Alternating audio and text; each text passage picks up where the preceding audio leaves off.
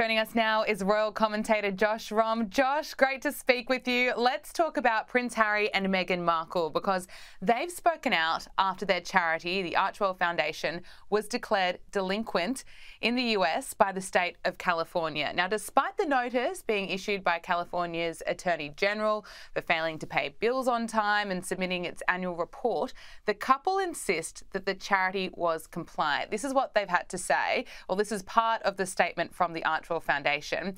We have diligently investigated the situation and can confirm that the Archewell Foundation remains fully compliant and in good standing. Due payments were made promptly and in accordance with the IRS's processes and procedures. Furthermore, all necessary paperwork had been filed by the foundation without error or wrongdoing.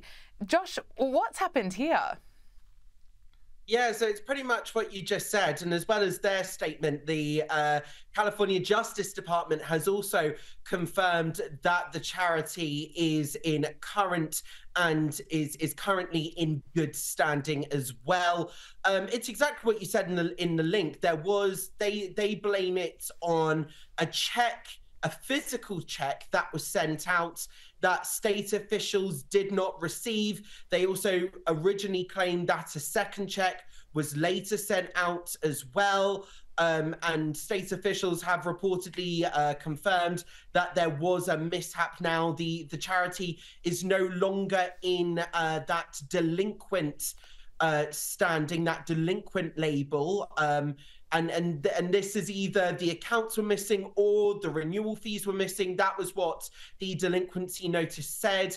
And if if uh, the state of California followed through with it, then the charity might not have been able to spend their funds, uh, and uh, they might be stopped uh, from, uh, I think the quote is soliciting and dispersing charity funds and its registration from California's registry of charities and fundraisers might have been either suspended or revoked. Um, however, sources close to the couple have said it's a mishap. As you said, they have spoken out saying the charity is now in good standing. The California Justice Department has also said the charity is in good standing. So it appears all's well that ends well. But mm. is it? Because yeah. I think what what the the kind of tonal message that has been received is whilst Harry and Meghan have been living it large on this quasi royal tour going to Nigeria. Harry, of course, promoting the incredible cause that is the Invictus Games, Meghan promoting well herself um, and saying Nigeria is my country, and you know both of them kind of grandstanding on this global platform for themselves. It does kind of set the tone. This notice does kind of set the tone, maybe that the foundation may or may not be kind of not their top priority in that maybe they may be more interested in grandstanding and showing off um, as being huge members with powerful influence, and yet they're somehow still connected to the royal family, and that they've still got their titles, the Duke and mm. Duchess of Sussex, on the global stage, in order to, you know, monetize that for the Netflix deal. Bearing in mind the Spotify deal fell through. So I think what this tonally says, okay, legally, the charity is now in good standing. All's well that ends well. The, you know, they, they, they're keen to emphasize everything was filed on time. It was a mishap. But it does kind of suggest that maybe the charity may or may not be uh, that not their top priority. Mm, that was my takeaway. Maybe they dropped the ball when it comes to their charity because their focus appears to be, well, taking part in a royal tour that's not a royal tour. And of course, Meghan's busy launching her new lifestyle brand. But Harry and Meghan are back in California now after their tour in Nigeria. And they've told the publication People that they're feeling much better now than during their visit to Africa in 2019. Meghan said, We're just doing great happy to be watching our family grow up and evolve. And of course, I'm happy. We're really happy. Well, it is refreshing to hear them say this. I suppose it's a different tone than what we've heard over the past few years. What do you make of this royal tour that wasn't a royal tour and what they're, they're saying about it? Are Harry and Meghan's attitudes shifting? Let me tell you why they are happy They are happy simply because, well, I mean, I'm not in their minds, but I think they're happy because, hmm, surprise, surprise, they received good press from the tour. The hmm. Mail, the, the Daily Mail called it almost presidential, which is for the Mail in this country absolutely unheard of. So the fact is, the press were glowing about them. So of course they're going to be happy after that you know, after South Africa, you know, when in the tour of, of Africa back in the day, there were reports of a fire in Archie's room and things going wrong, even though they actually received good press at the time.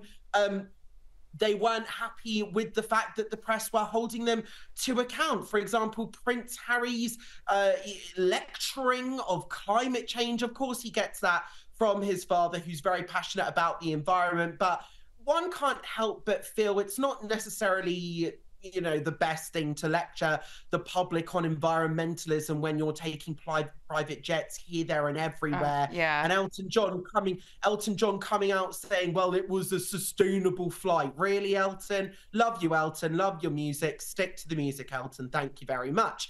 But that's the thing. They couldn't handle the criticism. They didn't like the pressures of being in the institution. So of course they're going to be happy now because this quasi royal tour that wasn't a royal tour was all done on their own terms in their mm-hmm. own way and they controlled who was there and who wasn't.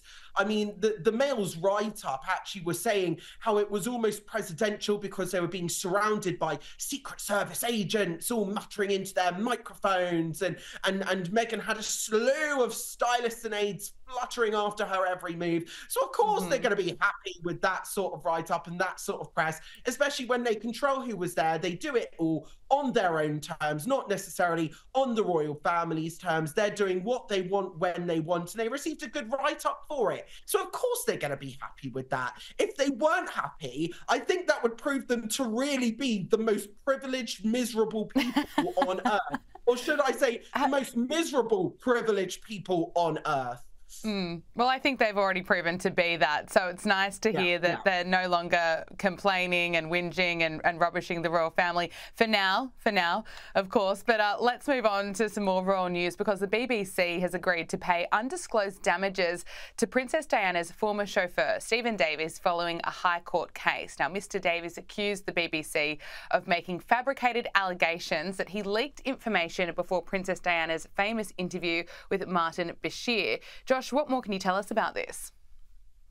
Yes, so um, a document's been revealed that at the time of this interview in 1995, in order to procure the interview, Martin Bashir told both Princess Diana and Earl Spencer, the quote is, quote, uh, Mr. Davies, feeds today newspaper, change your chauffeur. Now, he says this was completely fabricated because he was working for Princess Diana in uh, 1995 as her driver, as her chauffeur. And then he was fired without explanation in March of 1996. And he said that these fabricated and unfounded um, allegations and accusations are, are, a real, quote, blot on his character, so to speak. I mean, the, the BBC has been in really hot water over this interview. We know that Martin Bashir uh, forged records to kind of deceive Princess Diana to kind of make out that those around her couldn't be trusted, that those around her may or may not have been leaking stuff to the press. So, this is another member, close member of her household staff, who was part of her everyday life, who was accused um, at the time of leaking stuff to the press and and it, he thought maybe that's why he was fired without explanation in hmm. March of 1996 but now the BBC has of course been found to have uh, almost covered this up maybe uh, and and the BBC have agreed to pay his legal costs plus an undisclosed compensation sum to him. They've apologized unreservedly. They've also admitted that the allegations were fabricated. They've admitted that the allegations were unfounded as well. They are they they're keen to emphasize that they're a different corporation with different management now, that Martin Bashir no longer works for them in any capacity. Um, and I think that the BBC are very keen to put this sorry saga to its end. Of course, Prince William has said that the interview should never be shown on television ever again. This was, of mm. course, that infamous panorama interview where Princess Diana said there were three of us in this marriage, so it was a little bit crowded there or thereabouts. Um, and uh, she also put doubts onto whether the whether at the time Prince Charles, the then Prince Charles, was suitable for the the big job at hand. So I think this is once again the BBC be, being made to look quite foolish here for for what yeah. went on at the time. I mean, even we know the Crown doesn't always get things right. In fact, they got a lot wrong. I previously spoke to Michael Cole for the Sun in a big uh, big expo- explosive expose article where he said, you know, I put stuff to him. Did this happen? Did this happen? Did, did this happen? And he said time and time again, that's wrong. That's that's not the truth. That's an insult to the truth. This is an insult to Diana. The makers did not respect Diana. So we know the Crown doesn't get it right all the time. But even the Crown showed the BBC to be falsifying uh, the situation at right. the time of that interview. So I think even that speaks volumes. And Josh, King Charles has unveiled the first portrait of himself since his coronation. The large pink painting by artist Jonathan Yeo, which is more than eight feet tall, is getting mixed reaction. It certainly divided our office here in Sydney. Josh, what do you think of it? I can imagine. Um, I think uh, I actually I've got mixed feelings about it because I think as an artwork it's beautiful, it's representative. Um, he's dressed in the uniform um, of the Welsh Guards. That was, of course, he was made the regimental colonel for the Welsh Guards in 1975. He's got a sword in one hand, and then on his left shoulder, he has a butterfly landing, of course, symbolizing his love of nature, symbolizing his love um, of wildlife as well. Uh, Queen Camilla is said to be a fan. She has she was said to have stepped in during the last sitting where she commented to the artist supposedly, quote, yes, you've got him. I mean, the, the portrait shows um, His Majesty the King looking gentle. It's he's got a very mm. kind face in the portrait, but he's also looking determined. Experts have said the kind of bold pink pinky reddish color is meant to kind of represent the uh, environment warming up, supposed to represent climate change and and the king's face kind but gentle kind of representing his determination to combat that as well. So i think there's a lot of representation here which is a good thing. And i think as an artwork it's absolutely beautiful.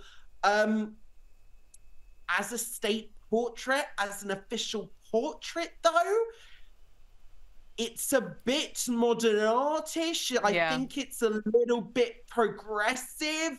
I don't think it's what we necessarily expect of official portraits. I think mm. compared to official portraits of Her Majesty the Queen, it kind of stands out like a sore thumb. Does it show that His Majesty wants to be a different kind of monarch. Yes, I think there is that representation in there that he's a new progressive monarch, and, and this painting is just one example of how the monarchy is adapting to uh, the modern age. Um, as an artwork, it's beautiful. Um, I think it captures him in a really nice way. But as an official portrait, I think it's a bit progressive. Dare yeah. I say, there are kind of a bit woke representations in there. Um, listen, I think the monarchy, it's great that the monarchy adapts. I love King Charles wanting to be this progressive monarch. I love Prince, uh, I love Prince, uh, sorry, King, His Majesty King Charles wanting to be not just defender of the faith, but defender of all faiths, protecting religious freedom in this country, protecting minorities, emphasizing the inclusivity of the monarchy, saying that this is a monarchy for all, not just in the UK, but across the Commonwealth. Um, lovely painting. Um, as a painting, fabulous. As a mm. portrait, ugh, jury's out. Yeah, I tend to agree with you there. It's certainly not what you expect from a, a portrait, but it is growing on me as an artwork. Josh Rom, it's so great to speak with you. Uh, thank you so much for joining us again on Power Hour. Uh, thank you so much for having me. Can't wait to be back.